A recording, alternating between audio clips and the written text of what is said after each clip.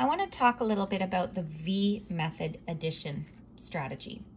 So say if you have 42 plus 54, it's easy if you line them up like this, across a line instead of stacked. It's much easier to do the V method this way. What you're going to do is you're going to connect the tens and you're going to connect the ones.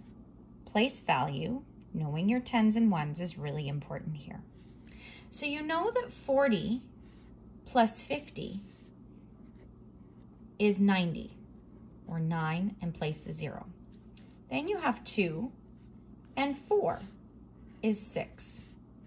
All you have to do is add 90 plus 6 to get to your answer, 96.